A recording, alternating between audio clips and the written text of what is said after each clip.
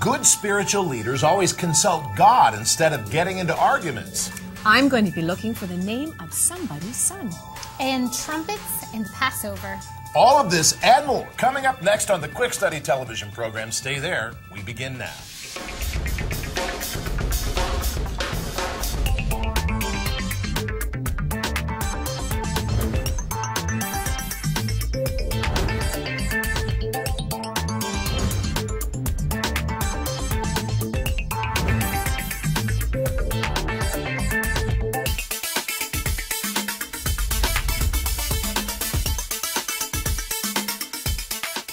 Good morning, good afternoon, good evening, wherever you are. My name is Rod Hembree. And I'm Janice. I'm Corie. This is Quick Study, a television program designed to take you through the Bible in one year.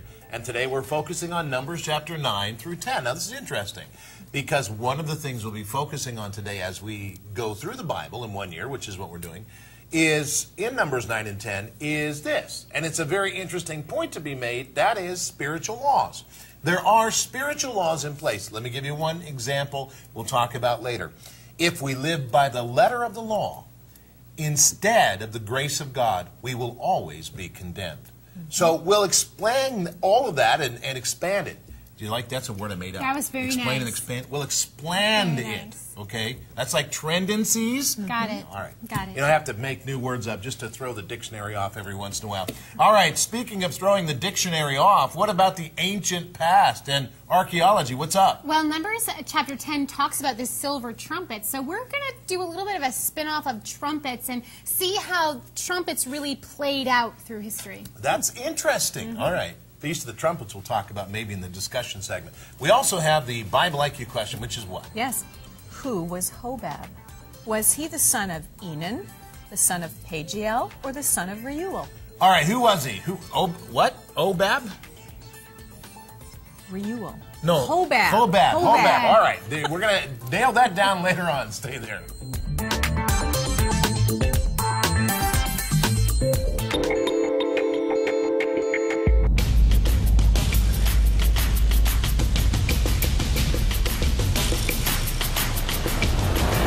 Common modern scientific knowledge that the Earth floats in free space, suspended by nothing, affected only by gravity. But ancient sources of man declared, as in the case of China, that the Earth was suspended on the back of a turtle. Or in India, an elephant held the Earth up. Or in ancient Greece, Atlas held the Earth up. But the Bible is unique in that this ancient document is the only one that makes a true statement.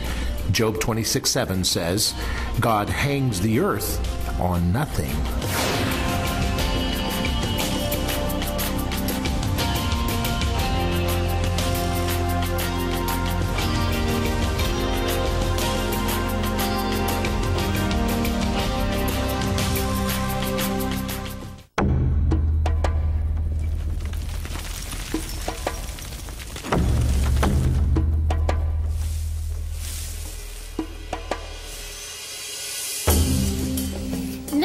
Chapter 10 speaks of the making of two silver trumpets.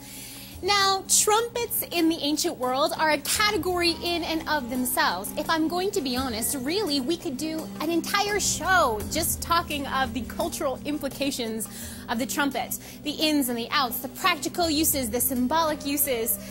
But instead of doing that, because it would be a lot of trumpets, combined into one show.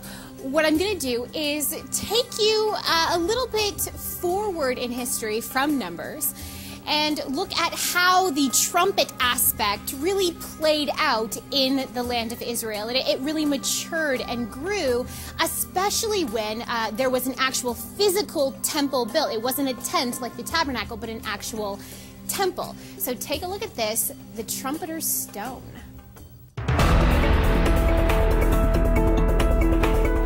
Throughout the Old Testament, trumpet blasts were known to come before an appearing or a manifestation of God. Trumpets were blown when God commanded, often before a major event, like the collapsing walls of Jericho. There was even a special day reserved for blowing trumpets for Jewish New Year, opening up a sacred month. The tradition of trumpets continued on into New Testament times. Trumpets were employed in Herod's temple in Jerusalem to signify the beginning and ending of the Sabbath, a day of rest given to God. The Jewish Mishnah, a body of laws, tells us that six trumpet blasts would sound the beginning of the Sabbath, three to cause the people to stop their work, and then three more to distinguish the beginning of the sacred day.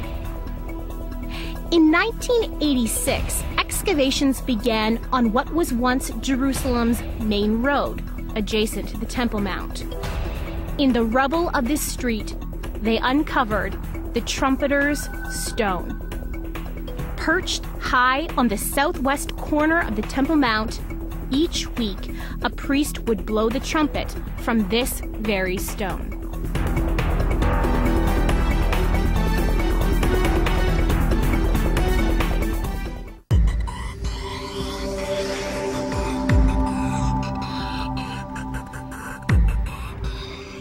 Our reading assignment today, Numbers chapter 9 through 10. Let's put it in context through truth text. Now, the purpose of God's rituals and feast is not to bind man and condemn him, but to teach his soul about the character of a saving and healing God. So, Numbers 9 brings a serious Passover crisis. The Passover was due to be celebrated, but some had faced death in their families, and they were caught in the law because they were defiled. So Moses, like a good spiritual leader, consults God. And in chapter 10, the public address system is instated from ancient Israel. From now, Israel moves away from the mountain using the same system wherever they went. Numbers 9, verses 1 through 8.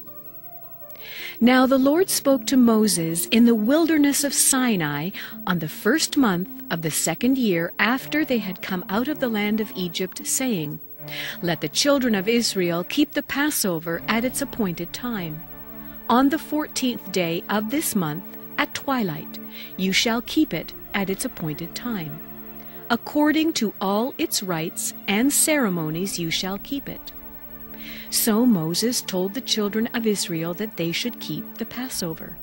And they kept the Passover on the fourteenth day of the first month at twilight in the wilderness of Sinai, according to all that the Lord commanded Moses, so the children of Israel did. Now there were certain men who were defiled by a human corpse, so that they could not keep the Passover on that day. And they came before Moses and Aaron that day, and those men said to him, We became defiled by a human corpse. Why are we kept from presenting the offering of the Lord at its appointed time among the children of Israel? And Moses said to them, Stand still, that I may hear what the Lord will command concerning you. Numbers chapter 9, verses 1 through 8. This is a most interesting and amazing package of Scripture talking about the letter of the law.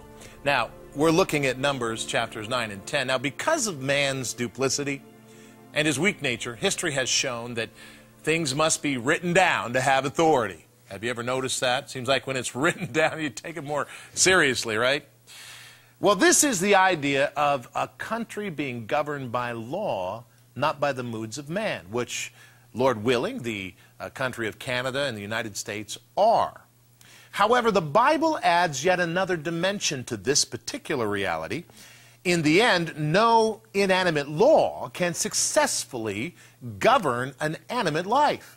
You see, wisdom in governing comes in mercy, in grace, and in truth. So, Numbers 9 reflects how God adjusts his requirements for the Passover in a no win situation for his people. You see, the feast of God and the Passover, the celebrations and the Sabbath, these were not to bind man and, and make him somehow obligated to do this, or God would stomp on him or send him to hell.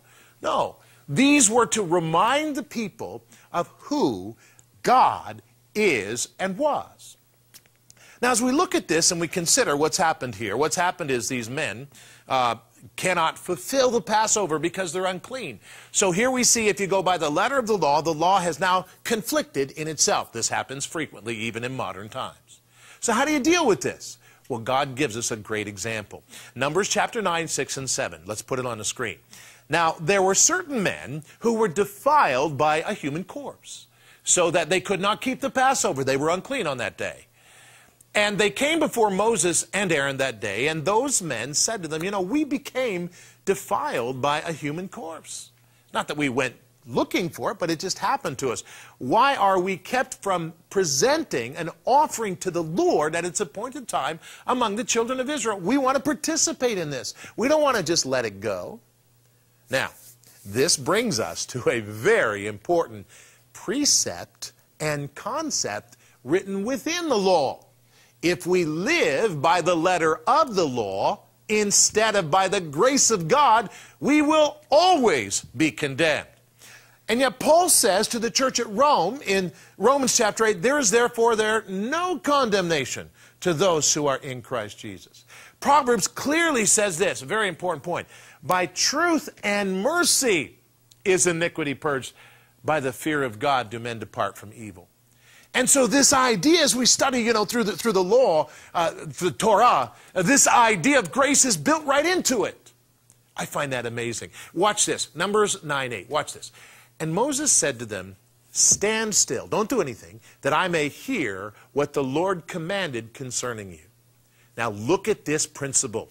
Truth to live by, number two. When you're caught in a spiritual conflict, good spiritual leaders always consult God instead of instituting arguments in spiritual conflicts. Instead of Moses saying, I'm Moses when I say you can't worship because it's the letter of the law, he didn't do that. Moses saw their hearts. And he said, You know, these men, they just want to serve God. So Moses goes to God. And God makes provision. Isn't that just like the Lord? God doesn't break his law, but he adds to it grace. See, God never breaks his law, but he adds to it grace and mercy. So to the Torah, what was added? Yeshua HaMashiach, salvation, the grace of Christ. Boy, this is intense. All right, now let's look at Numbers 9, 9 to 12. Then the Lord spoke to Moses, saying, I want you to speak to the children of Israel. I want you to say this. If any one of you or your posterity is unclean because of this idea of being defiled by a corpse, or is far away on a journey, he may still keep the Lord's Passover. Verse 11.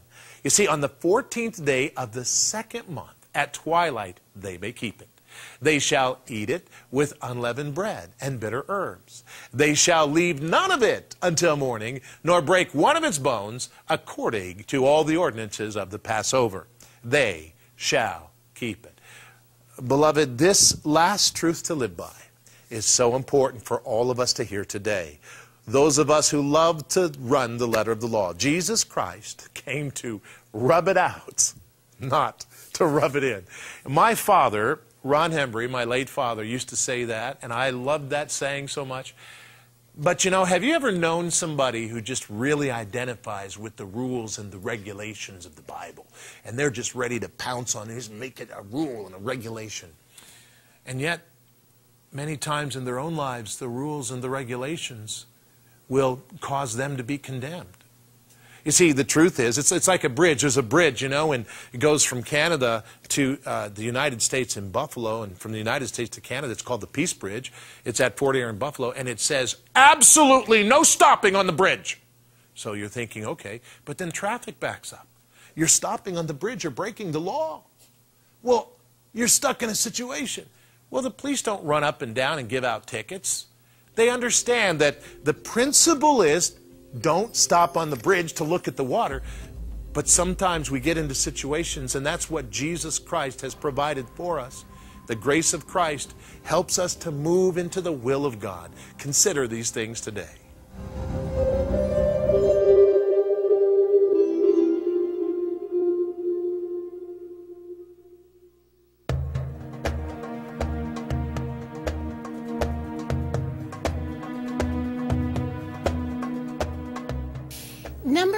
Chapter 9 sees Israel under the leadership of Moses and the Lord celebrating Passover, the feast of Passover. Now, I cannot imagine being these people, knowing their history coming out of Egypt, know, that knowing that they knew exactly what Passover meant, and it meant it was so personal for them. They had seen the miracle, they had experienced the miracle, and now here they are celebrating the feast in the wilderness. I cannot even imagine what that would be like.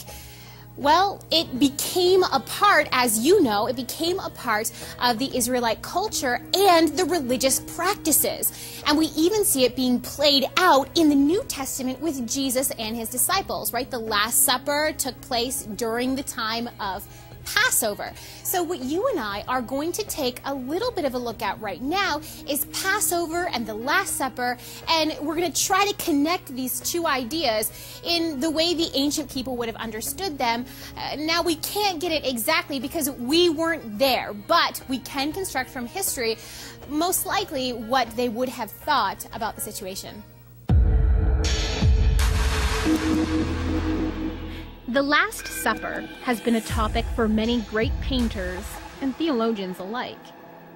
Jesus was celebrating the Passover meal instituted by God through Moses.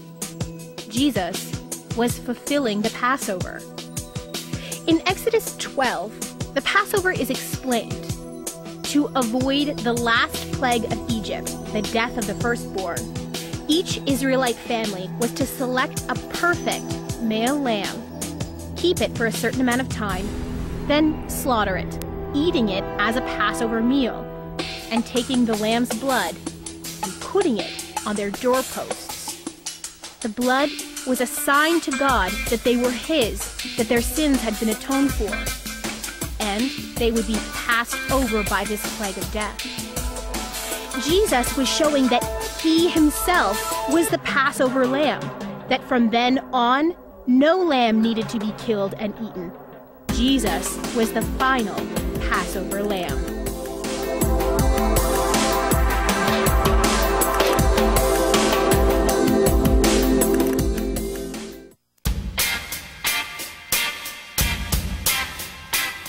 Change the atmosphere of your workplace or home by listening to I Sing Radio online at www.biblediscoverytv.com. Commercial free, no radio telethons, just worship and praise 24 7 at BibleDiscoveryTV.com. Be sure to follow the links to online radio, then click on I Sing.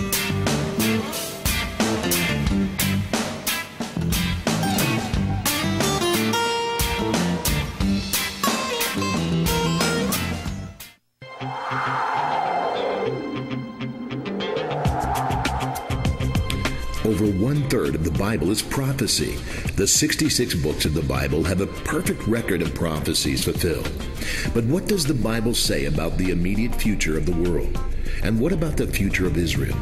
Does the recent rash of birds falling out of the sky, millions of dead fish, and cattle dying have any significance according to the Bible? Join Rod Hembree in his compelling two set audio CD series called The Coming Storm. This set is a fascinating Bible study on the complexion of the coming one world empire, the rescue of Israel, and the mysterious disappearance of the church, all predicted from the pages of the Holy Scripture. Call or write today for your copy of the Coming Storm Bible Study on Near Future and End of Time with Rod Hembree. When you write or call, please remember that Quick Study is viewer supported, and we need your help to continue teaching through God's Word.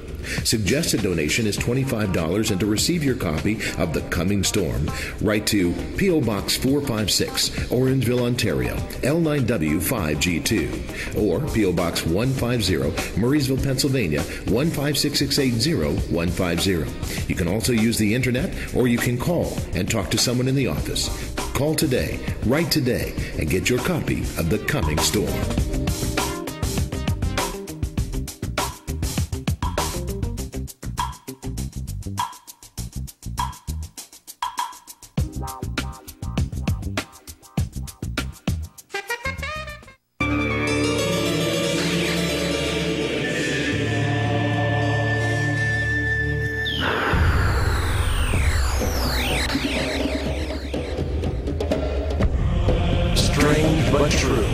Places, places, people. Ancient scribes record amazing truth. Ancient scribes record amazing truth. Modern medicine has discovered that when dealing and confronting deadly diseases, clothes and the body should be washed under running water. But did you know that for centuries, people naively washed in standing water, creating extra death and disease? Today, modern medicine recognizes the need to wash germs away in fresh water. But did you know that over 3,000 years ago, God spoke to Moses and told him, when dealing with infectious disease, wash the body and the clothes under running water. Leviticus chapter 15, verse 13.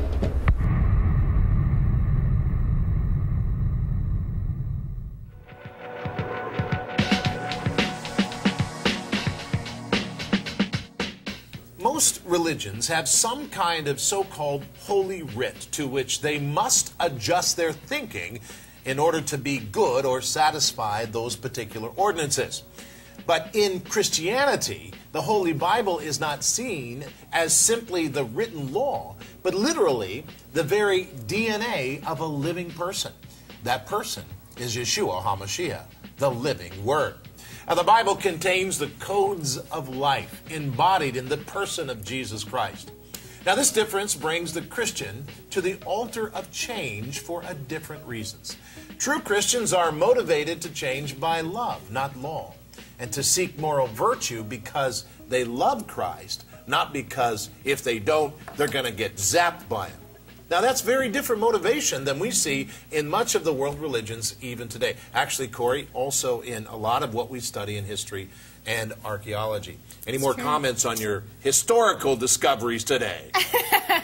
Um, not really. I mean, it, it was all very straightforward, but it's amazing how the Bible speaks of something, and, and then history and archaeology will just give it that clarity that we need. And we live in such a privileged time because everything is literally just at our fingertips. We have history books, we have the internet, we have uh, journals of archaeology. It's all right there. One of the things you said I think is very important, and uh, Professor Albright said it too.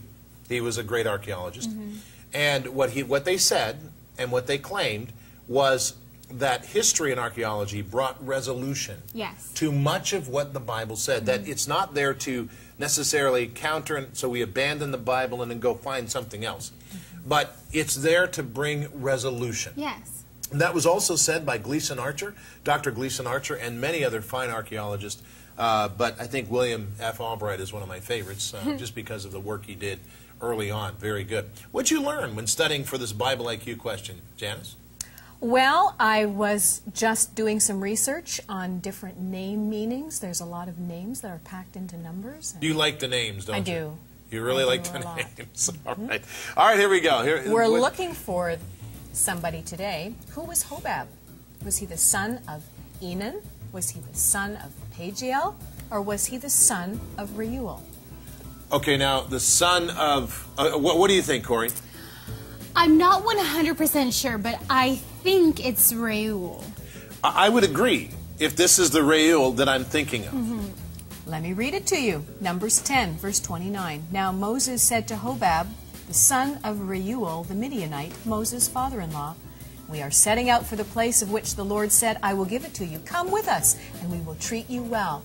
This was Moses' brother in law, the son of Reuel. And Moses' you know. Janice, yeah, because I mean, he married a daughter of the priest of On. Yes. Which uh, now that that whole idea, Midianite. I think we forget about it. A Midianite, uh, descendants of Midian, Yes. and I think it's interesting because when we get prior to uh, the the sons of Midian, that would be Amnon and Midian. These were the descendants of Lot. Uh, by incest. But one of the interesting things to me is that when Joseph is sold into slavery, in one place it says they were the Ishmaelites, in another place it says they were the Midianites. So we surmise from that that perhaps the Ishmaelites and the Midianites had an alliance. And that becomes interesting because Reuel, or Jethro, Right. as he sometimes Yes. is called, uh, is the father in law of Moses. He actually detaches himself from those ancient um, ideas or cultures and he joins uh, the, the new land or the new nation of Israel. In fact, gives advice to Moses. He does. And and the, the advice God doesn't it was good advice. God doesn't reject it. And so, you know, you should listen to your father-in-law every once in a while. Has some good advice. My father-in-law had great advice. Uh, anyway, so this this priest of On, uh, his, his, Moses must have had several things in his mind. He had the ancient religious practices of Egypt. He grew up in the mm-hmm. house of Pharaoh. But then there were the religious practices of Midian.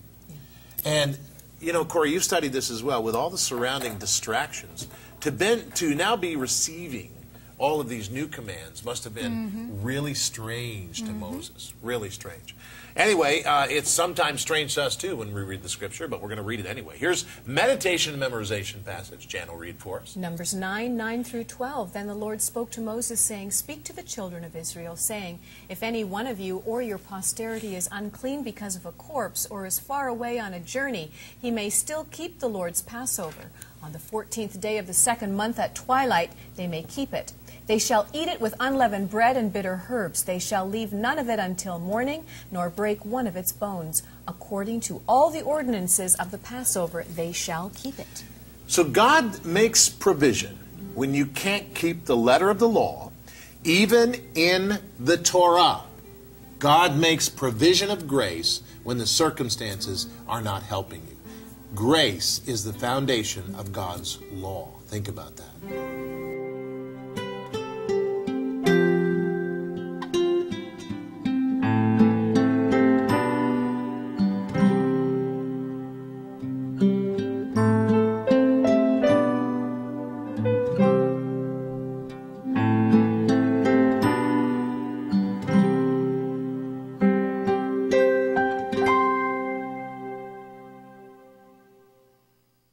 Uh, nobody is good enough. Nobody can perform well enough. Nobody's rich enough. Nobody's smart enough. Nobody's cute enough.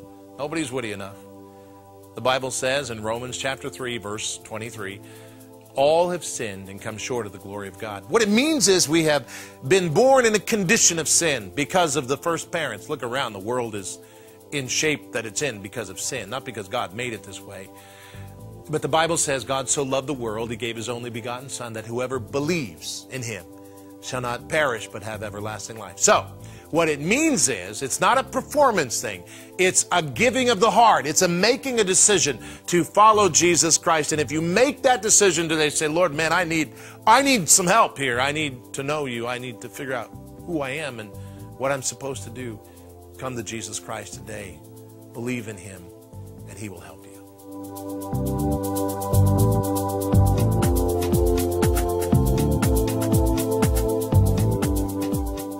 Thank you for joining us today on the Quick Study television program. Tomorrow, what happens when the people of God do nothing but complain instead of praise? We'll be talking about that. Join us on Quick Study. Also, remember we're viewer supported and we could use your help. Our website, you can give there at BibleDiscoveryTV.com.